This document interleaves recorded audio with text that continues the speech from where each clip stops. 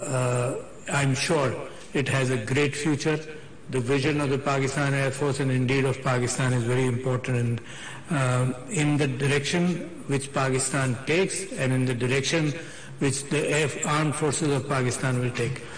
असल में हमारा हमारी तारीख इस बात की गवाह है हमेशा से कि इल्म को मुसलमानों ने बड़ी अहमियत दी है और हमारी रूट्स वहीं से चलती है। असाद सुफ हजूर अक्रम सल्लल्लाहु के ज़माने में हजूर अक्रम सल्लल्लाहु अलैहि की बेनतहा अहदीस मौजूद हैं, जिसके अंदर उन्होंने इल्म के तलाश के लिए और इल्म के लिए जिन लोगों ने अपने आप को वक्फ किया, उनके सवाब के एतबार से। और ये कि ये भी कहा कि जो इल्म किसी को पहुँचा दे उसकी मफरत सबसे ज़्यादा होगी एक। और आप लोग तो कॉम्बिनेशन है आप लोग मुजाहिद भी हैं और आप लोग इल्म भी पहुँचा रहे हैं। तो वहाँ से बात शुरू होती है मगर मुसलमानों के यहाँ इल्म की मैं जिस गुफ्तु को आपके सामने रखना चाहता हूँ वो सिर्फ़ यही नहीं है कि हम अपनी ताकत बेहतर करें। मुसलमानों के यहाँ इल्म के साथ साथ एक मोरालिटी का आंसर हमेशा रहा और आ, ताकत के साथ एक मोरालिटी का आंसर रहा। तो इब्न खलदून अपने मुकदमे में फरमाते हैं कि एक बदनुओं के दरमियान एक ट्रेडिशन थी जिसको असाबिया कहते थे।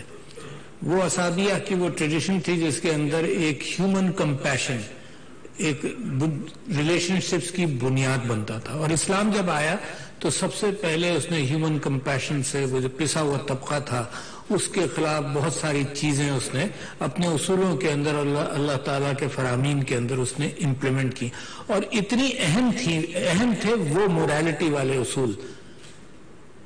कब्जे वाले उसूल नहीं मोरालिटी वाले उसूल के हजूर अक्रम वसल्लम की वफात के बाद जब किसी एक तबके ने इनकार किया जक़ात देने से which was the foundation pillar of the social society which Islam had brought तो उसके खिलाफ फिर जंग करने के लिए हज़रत अबू बकर तैयार हुए। तो इमेजिन कीजिए कि इस्लामी रियासत के अंदर वो कंपैशन के उसूल जो थे, वो ज़्यादा अहमियत रखते थे और उसकी बुनियाद बहुत बड़ी थी।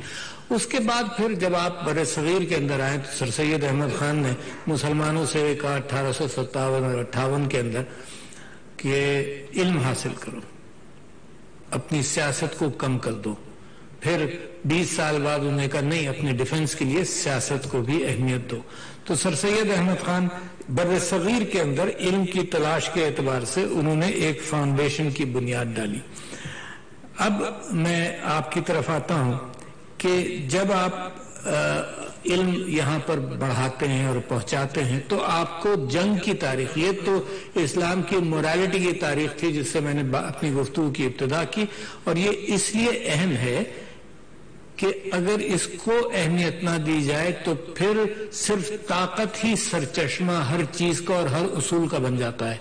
और आप आजकल के दुनिया के हालात के अंदर देखिए तो ताकत ही उसूल है, चाहे वो कश्मीर का मामला हो चाहे वो फलस्तीन का मामला हो, चाहे वो मगरब वस्ता के अंदर जो मुसलमानों का हाल हुआ है, उसके पीछे सिर्फ़ ताकत है। और आज भी जो कैलिडोस्कोप दुनिया की सियासत का बन रहा है, और आप लोगों को अवेयर होना चाहिए, क्योंकि आप हमारे कुछ लोग तो मुस्तबिल के स्ट्रैटेजिस्ट हैं, और कुछ लोग यहाँ पर मुस्तबिल के स्ट्रैटेजिस्ट को तैयार कर रहे हैं। तो जब आपकी ट्रेनिंग होगी, आप ट्रेन करेंगे तो उस क्वालिटी ऑफ़ ट्रेनिंग के अंदर दो चार चीज़ें बड़ी अहम है। मैं अभी गुफ्तु कर रहा था एयर मार्शल साहब से और कि जी, पाकिस्तान एक ऐसे मोड़ पर है जहाँ से वो गुजर रहा है, जहाँ ताकत की बुनियाद दो चीज़ों पर रखी जाती है, जिसमें से एक चीज़ हमारे पास वाफिर है, वो है जज्बा, वो है दिल और वो है दिमाग। और एक चीज़ में कसर है, वो है मीशत। जो आपको हथियार तैयार करके देगी। लिहाजा इस वक्त वो कंपनसेशन आप मीशत के हवाले से और अपने हथियार के हवाले से अपने दिल और दिमाग और जज्बा ईमानी के साथ उसको आप कंपनसेट कर रहे हैं। तो ये अरसा ज़्यादा लंबा नहीं है।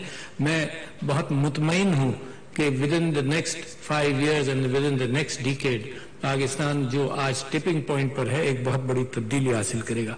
क्योंकि वो वेपन्स की भी ज़रूरत है ना आपको।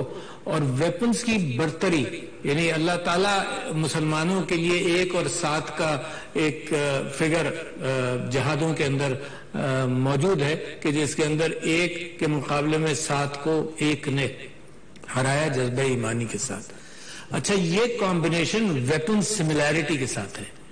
जब वेपन सिमिलैरिटी कमज़ोर पड़ती है तो अल्लाह ताला ने कोई अपने ऊपर जो उसूल दुनिया के रखे हुए हैं, वो तो ये है कि जो दुनिया के पर ताकतवर तरीन इल्म होगा, उसको वो सबकत देता है। वो मुसलमानों को एज देने के लिए तैयार है, क्योंकि वो डायरेक्शन चाहता है कि इंसानों का इस रिकग्निशन की तरफ़ हो कि अल्लाह की वैदानियत को और उसकी ताकत को और उसके उसूलों को पहचाने। तो एक एज तो है आपके पास। मगर वेपन्स की सिमिलैरिटी के अंदर वो एज है वेपन्स की डिसिमिलैरिटी के अंदर वो एज खत्म हो जाता है। जब तलवार के आगे, मैं समझता हूँ कि कैटापुल्स आए गन पाउडर आया तो आपने ये देखा कि वो एज उसके पास चला गया, जो गन पाउडर के साथ आ गया मिसाल के तौर पर। ज़ाहिर है created havoc throughout the world change the नक्शा ऑफ़ द वर्ल्ड और वो कैलिडोस्कोप बदल गया। इसी तरह से आप आगे देखिए तो फिर न्यूक्लियर वेपन आया। और आप ये भी जान लीजिए कि आप जिस बिलिजरेंट नेबर की और मक्कार नेबर की बात करते हैं, उसने दुनिया को किस तरह से बेवकूफ़ बनाया। आप भूलिएगा मत कभी भी कि 1974 के अंदर उसने एटॉमिक ब्लास्ट किया और दुनिया को यह कहा कि ये पीसफुल एटॉमिक ब्लास्ट है। और दुनिया कन्विंस भी हो गई। दुनिया कन्विंस हो गई। मैंने कभी भी उसकी कंडेमनेशन नहीं देखी। तो उसने कह दिया पीसफुल न्यूक्लियर ब्लास्ट है।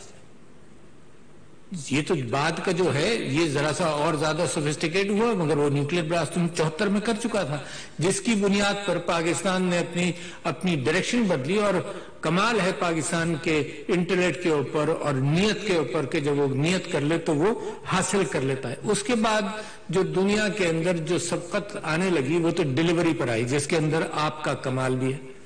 जिसके अंदर आपने delivery of not of nuclear weapons खुदा खास्ता इसकी नौबत ना आए, और पाकिस्तान इस बात की कोशिश कर रहा है। पाकिस्तान अमन के मामले में हिंदुस्तान के साथ उसने आउटस्टैंडिंग तरीक़ार अख्तियार किया, जो जो वो अमन चाहता है। फिर डिलीवरी की बात आई तो मिजाइल की बात आई, और अभी भी मैं नाम इतफा से भूल गया। इंडिया अपने सेकंड लेवल पर जाना चाहता है अपने मिसाइल के साथ, जो टू 2.8 मैक्स से 8.5 तक चला जाएगा तो डिस्टेंस नीडेड टू रिस्पॉन्ड बहुत छोटा हो जाएगा। वेरी रिस्की सिचुएशन इस वक्त स्टार्ट ट्रीटी भी जो अमेरिका और रूस के दरमियान थी, उसने कैप किया था शायद 1550 मिसाइल्स के ऊपर आईसीबीएम्स के ऊपर।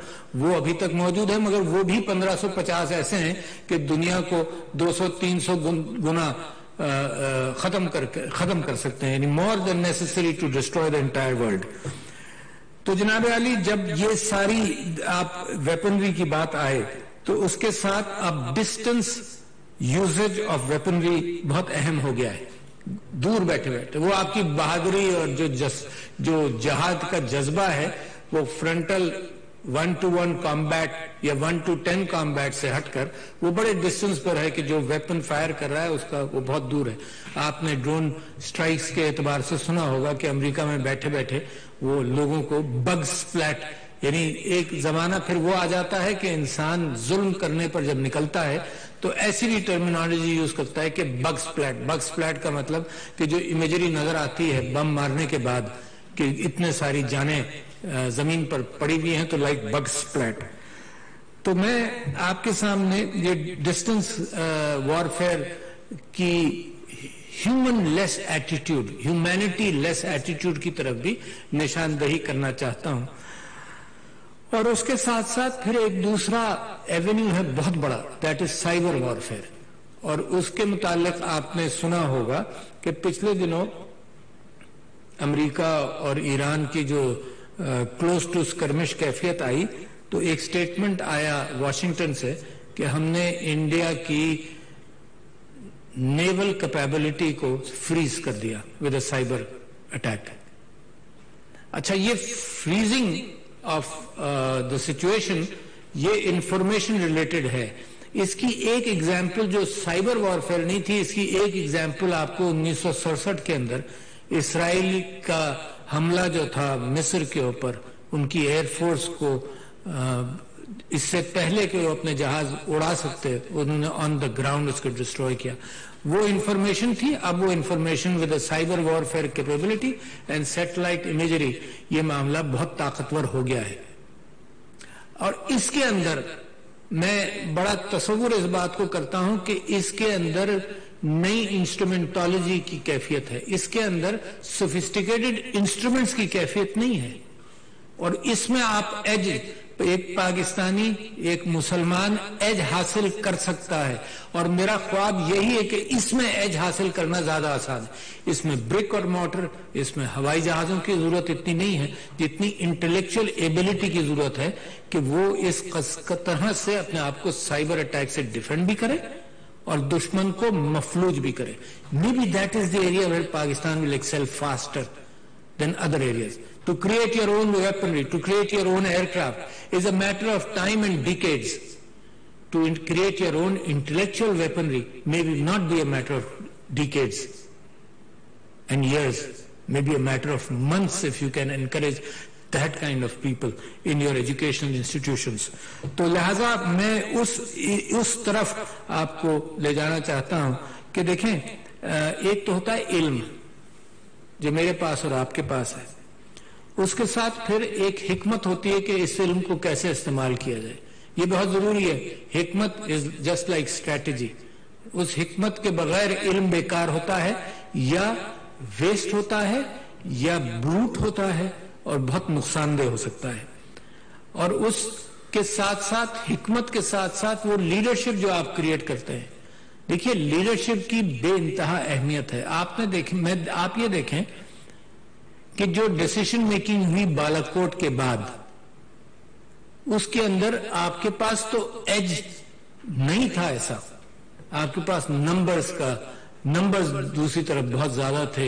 एबिलिटी कि दुनिया को कन्विंस कर सकता है, वो दूसरी तरफ़ ज़्यादा था। हमें बदनाम करने के एतबार से उसका मोमेंटम पंद्रह बीस साल से कहीं ज़्यादा था। उन सब चीज़ों। मगर आपने जो कमाल दिखाया, वो एग्जिस्टिंग वेपनरी के साथ आपने एक लीडरशिप प्रिंसिपल स्टैब्लिश किया। आपने मॉरल जज्बे के साथ जो आपने रिएक्शन किया और इंडिया का हवाई जहाज़ गिराया hats off to you did a splendid job और उसके साथ साथ सब्सिक्वेंटली आपने उस एज को मुस्तहकम किया अपनी मोरालिटी के साथ. All this combination is not only a matter of weaponry it is a matter of your your smart skills in using that weaponry as well as your intelligence and and hikmat the will for peace तो ये combination जो देखा आपने और आप लोगों ने इसको इस्तेमाल किया, ये है वो कॉम्बिनेशन जो मुस्तबिल में पाकिस्तान के लिए बड़ा अहम होगा स्मार्ट इंटेलिजेंट लीडरशिप जिसको बाद में लोगों ने गंदा तो किया, मगर हुआ नहीं कि जी हिंदुस्तान की धमकियों के अंदर आपने पायलट वापस किया था। Actually that was absolutely untrue and from the top of the hierarchy from among the top of the hierarchy मैं आपसे कहता हूँ कि ये discussion has nothing to do with any Indian intention Indian intention तो आ गया था आपने तो उसका जहाज़ मार गिराया। तो ये जो कैफियत मैं आपके सामने रखना चाहता हूँ, उसके अंदर मेरी और आपके ज़रूरी है समझना। एयरवार कॉलेज इंस्टीट्यूट से सदर ममलुका डॉक्टर आरिफ अलवी खिताब कर रहे हैं। उन्होंने कहा कि मुसलमानों की तारीख है कि उन्होंने इल्म को बहुत अहमियत दी।